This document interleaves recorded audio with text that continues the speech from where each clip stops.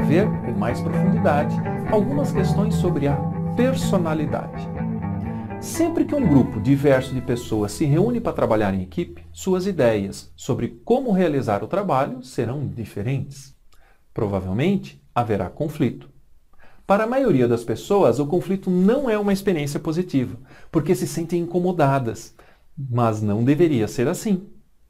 Quando as pessoas compreendem que é possível transformar o conflito em oportunidade, o trabalho não é interrompido, mas é necessário que exista cooperação e confiança entre os membros do grupo para que a energia resultante do conflito gere bons resultados.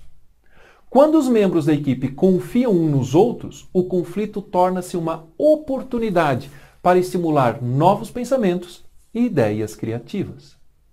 Segundo Pierre Weil e Tom Pakov, o indivíduo no grupo sempre influencia e também é influenciado não só pelas palavras ditas oralmente, mas também pelas palavras não ditas, traduzidas em gestos, posturas de aprovação e desaprovação, de acolhimento e aceitação e de rejeição e indiferença.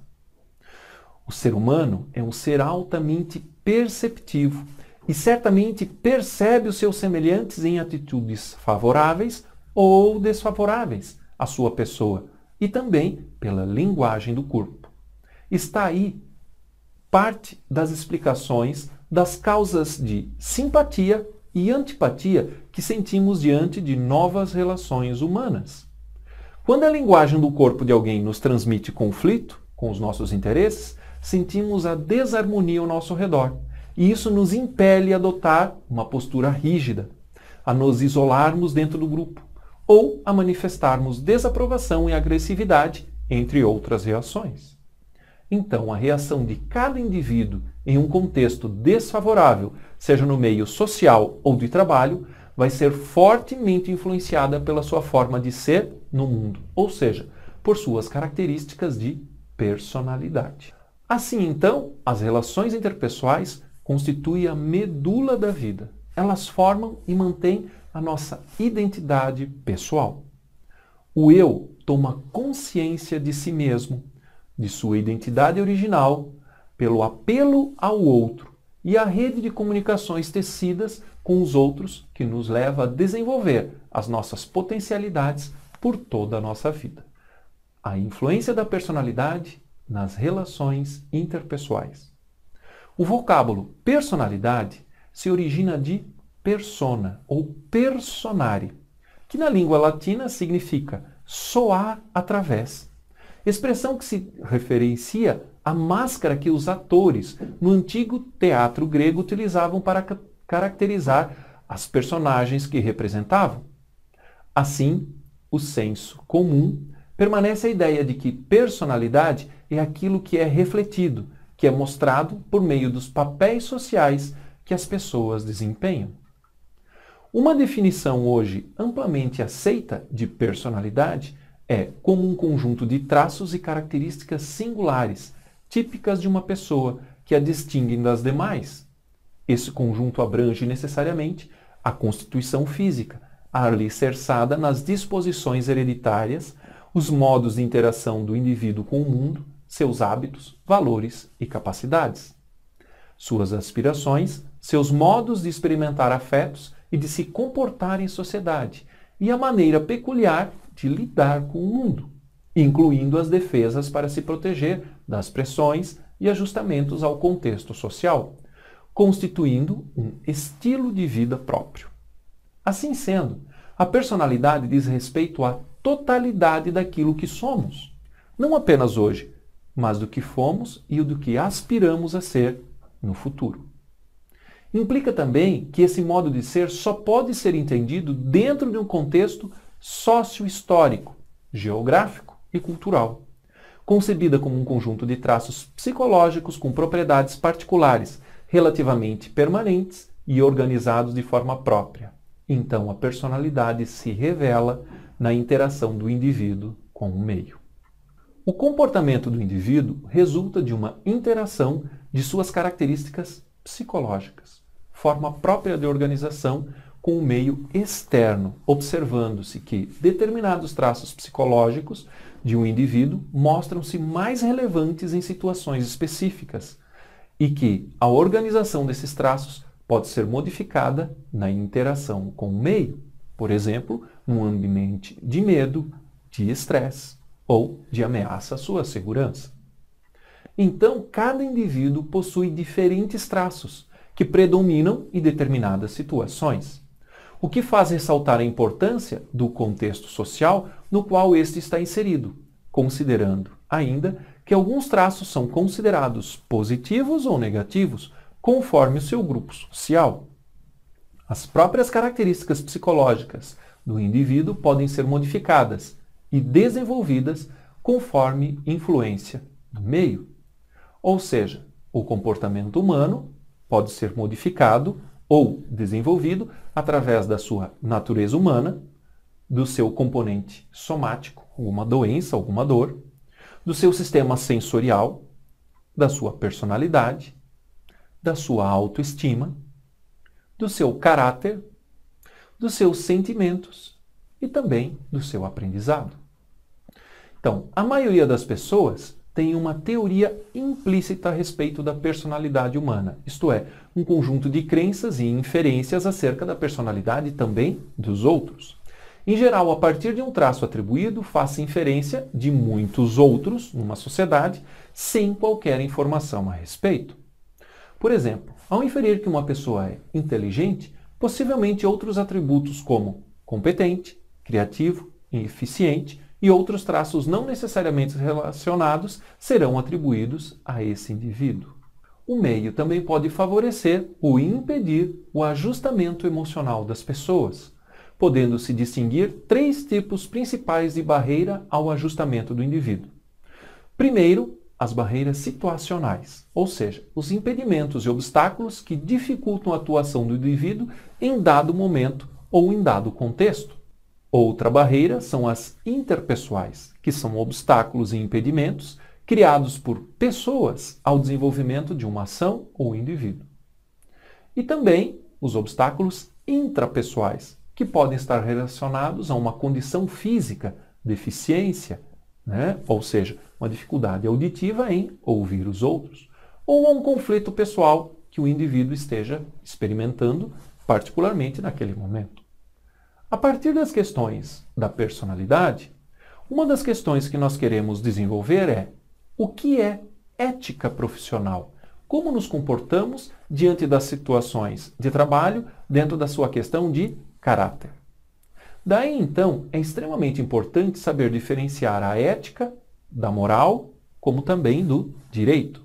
Essas três áreas de conhecimento se distinguem, porém têm grandes vínculos, até mesmo sobreposições.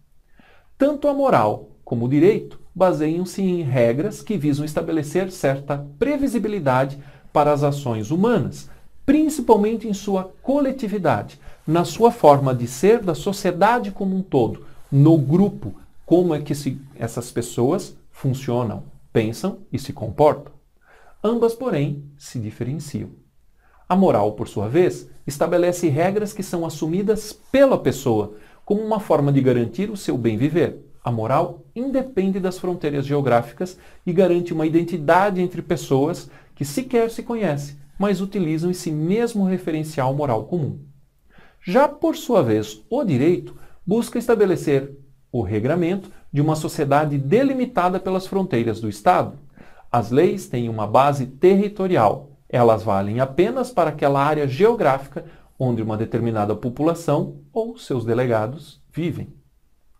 Já por sua vez, a ética é o estudo geral do que é bom ou mal, correto ou incorreto, justo ou injusto, adequado ou inadequado. E estes são geralmente opiniões ou julgamentos individualizados, diferente da moral, que ela leva em consideração o contexto. Um dos objetivos da ética é a busca de justificativas para as regras propostas pela moral e pelo direito. Ela é diferente da moral e do direito, pois não estabelece regras. Esta reflexão sobre a ação humana é caracterizada de ética e tem, como já foi afirmado, um ponto de vista individual. Vamos agora ver a questão da ética profissional. quando se inicia essa reflexão sobre ética profissional. Esta reflexão sobre as ações realizadas no exercício de uma profissão deve iniciar bem antes da prática profissional em si. A fase da escolha profissional, ainda durante a adolescência, muitas vezes, já deve ser permeada por essa reflexão. A escolha por uma profissão é optativa, mas, ao escolhê-la, o conjunto de deveres profissionais passa a ser obrigatório. Geralmente, quando você é jovem, escolhe sua carreira sem conhecer profundamente o conjunto de deveres que está prestes a assumir, tornando-se parte daquela categoria que escolheu. Assim, toda a fase de formação profissional, o aprendizagem das competências e habilidades referentes à prática específica numa determinada área, deve incluir também a reflexão, desde antes do início dos estágios práticos. Então, aí, ao completar a formação em nível superior, o técnico, a pessoa faz um juramento, que significa sua adesão e comprometimento com a categoria profissional onde formalmente ingressa. O fato de uma pessoa trabalhar numa área que não escolheu livremente, ou o fato de pegar o que apareceu como emprego por precisar trabalhar, o fato de exercer atividade remunerada onde não pretende seguir carreira, não isenta da responsabilidade de pertencer, mesmo que temporariamente, a uma classe, a uma tarefa ou a competência profissional com ética e a deveres a serem cumpridos. A questão da ética profissional é também uma reflexão. Algumas perguntas podem guiar estas reflexões, até ela tornar-se um hábito incorporado ao dia a dia. Pode perguntar-se a si mesmo: Estou sendo um bom profissional? Estou agindo adequadamente? Realizo corretamente minha atividade?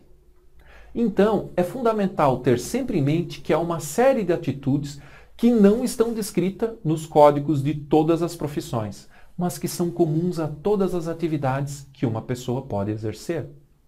Atitudes de generosidade, de cooperação no trabalho em equipe, mesmo quando a atividade é exercida solitariamente em uma sala, ela faz parte de um conjunto maior de atividades que dependem do bom desempenho desta. Uma postura proativa, ou seja, não ficar restrito apenas às tarefas que foram dadas a você, mas contribuir para o engrandecimento do trabalho, mesmo que ele seja temporário. Assim, então, quando nós falamos de ética, estamos falando também de responsabilidade, estamos falando de respeito, estamos falando de transparência, estamos falando de integridade, estamos também falando de cidadania e também de lealdade. Assim, as leis de cada profissão são elaboradas com o objetivo de proteger os profissionais, a categoria como um todo e as pessoas que dependem daquele profissional. Mas há muitos aspectos não previstos especificamente e que fazem parte do comprometimento do profissional em ser eticamente correto, aquele que, independentemente de receber elogios, faz a coisa certa.